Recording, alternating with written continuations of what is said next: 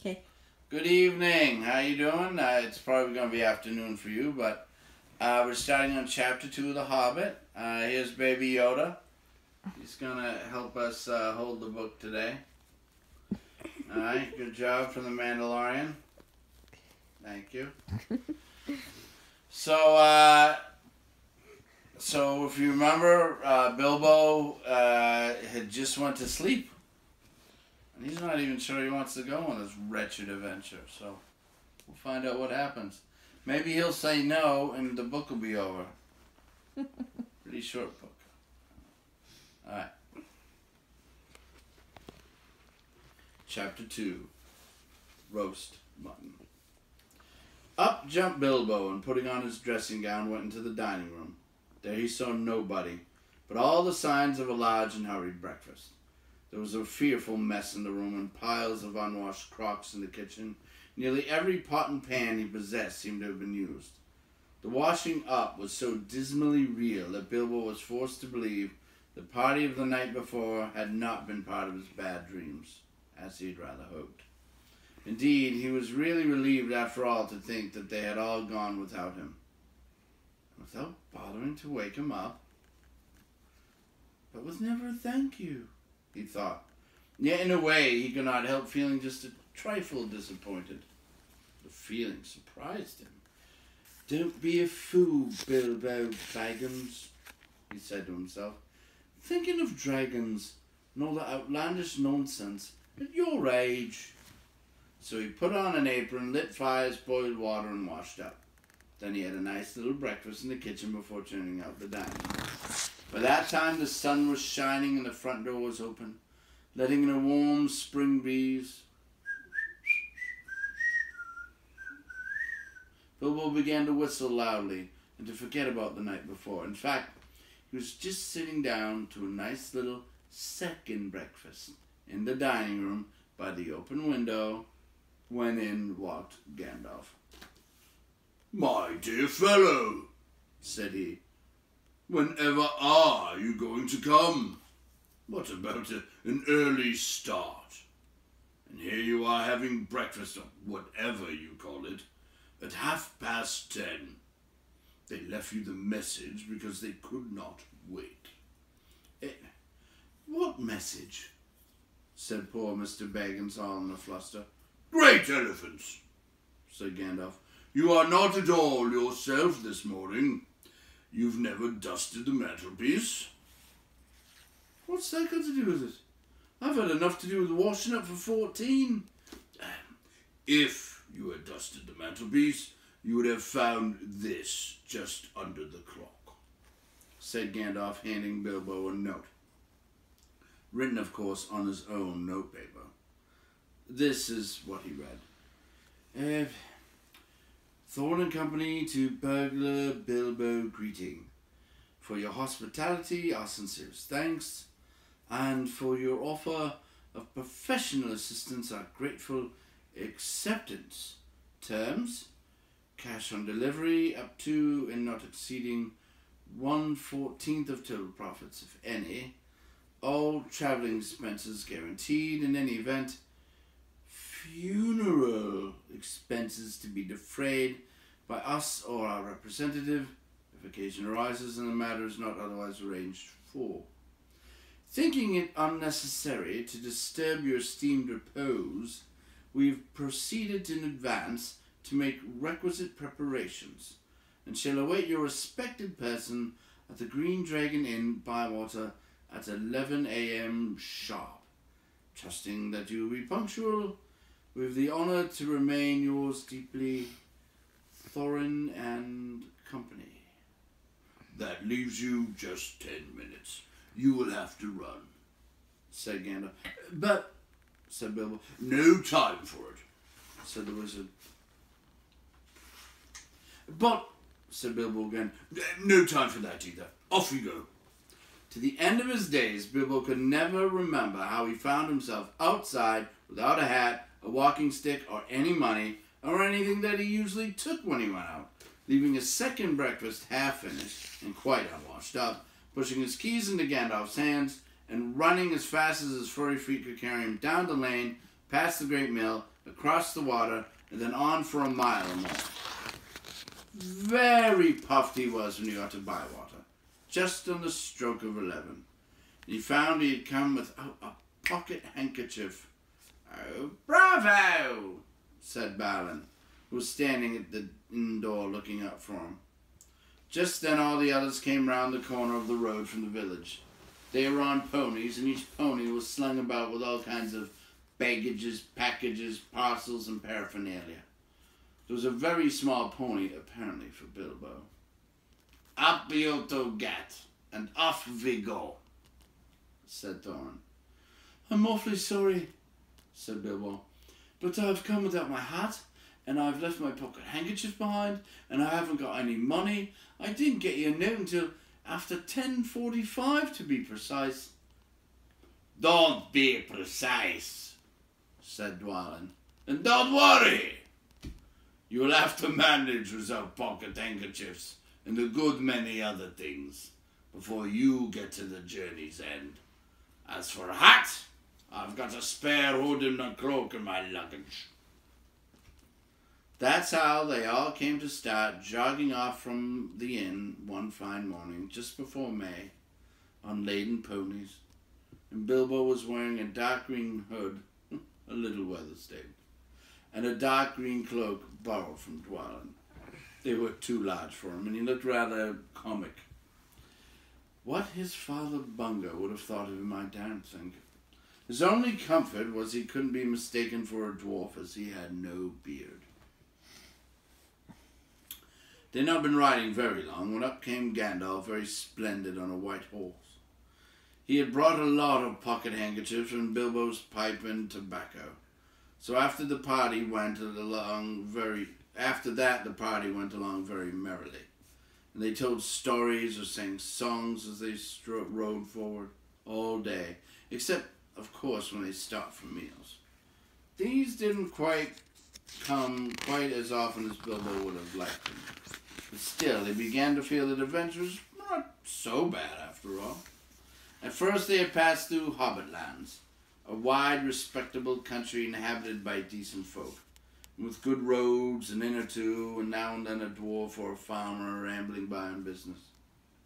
Then they came to lands where people spoke strangely, and sang songs Bilbo had never heard before. Now they had gone on far into the lone lands, where there were no people left, no inns, and the roads grew steadily worse. Not far ahead were dreary hills, rising higher and higher, dark with trees.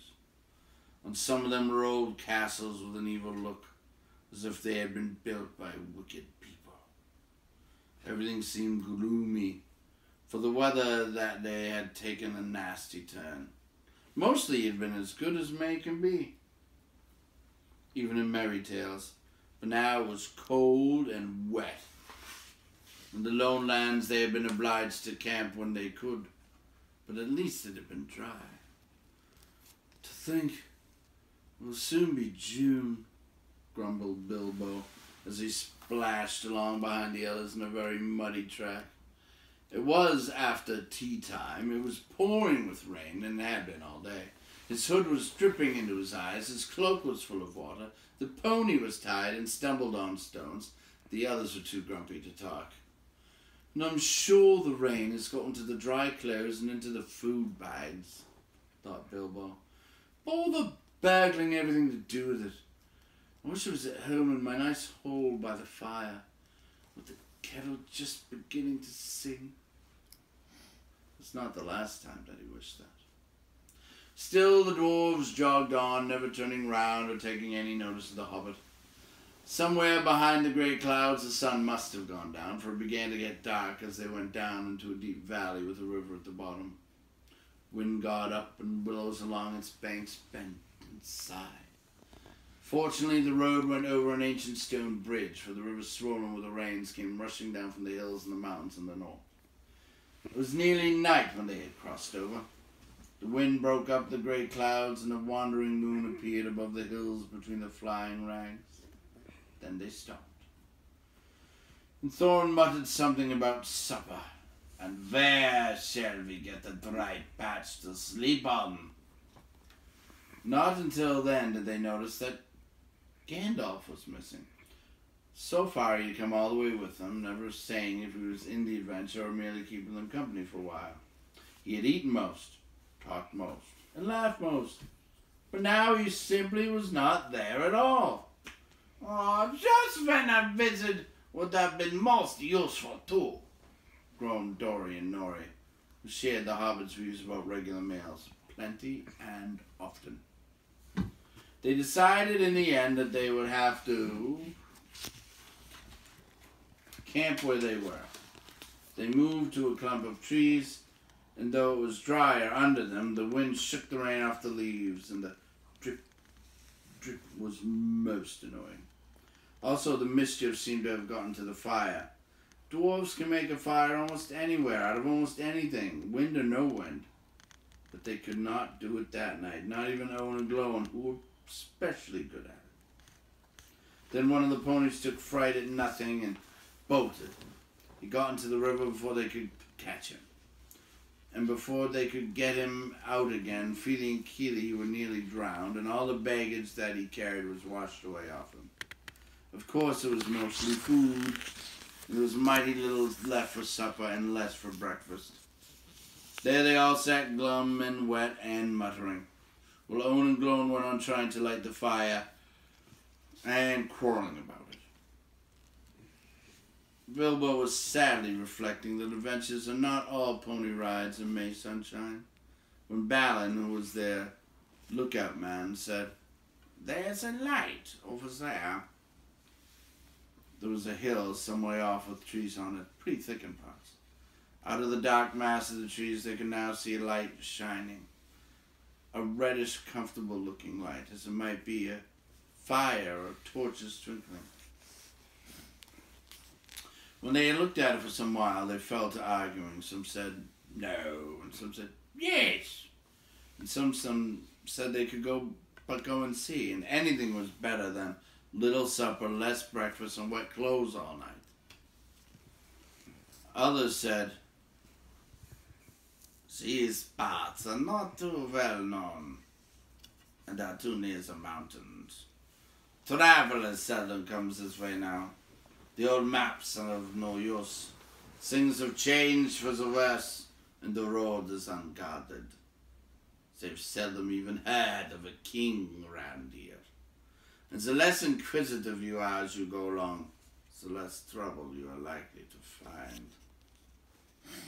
Some said, After all, there've fourteen of us. Others said, Where's Gandalf got to? This remark was repeated by everybody. Then the rain began to pour down worse than ever. No one and Glóin began to fight. That settled it. After all, we've got a burglar with us, they said. So they made off, leading their ponies with all due and proper caution in the direction of the light. They came to the hill and were soon in the wood. Up the hill they went, but there was no proper path to be seen, such as might lead to a house or a farm. And do what they could, they made a deal of rustling and crackling and creaking and a good deal of grumbling and dratting as they went through the trees in the pitch dark. Suddenly the red light shone out very bright through the tree trunks not far ahead. Now it is burglar's turn, they said, meaning Bilbo.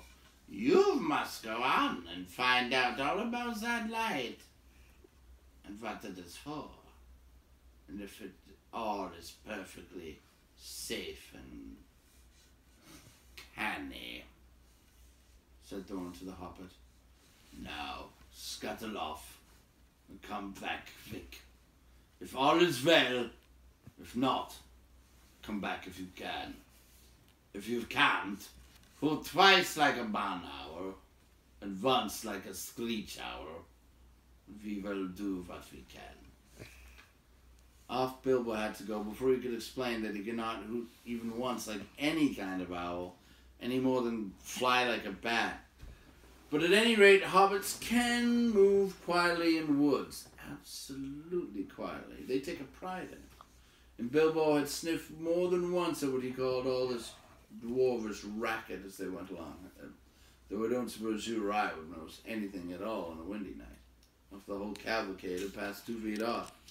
As for Bilbo walking primly towards the red light, I suppose even a weasel would have stirred a whis- whisker at it. So naturally he got up to the fire, for fire it was, without disturbing anyone. And this is what he saw. Three very large persons sitting around a very large fire of beech logs. They were toasting mutton on long spits of wood licking the gravy off their fingers. There was a fine, toothsome smell. Also, there was a barrel of good drink at hand. And they were drinking out of jugs, but they were trolls. Obviously, trolls. Even Bilbo, in spite of his sheltered life, could see that. For the great heavy faces on them, and their size, and the shape of the leg. Not to mention their language, which was not drawing room fashion at all. At all. Right, we'll find out what happens next. Good night.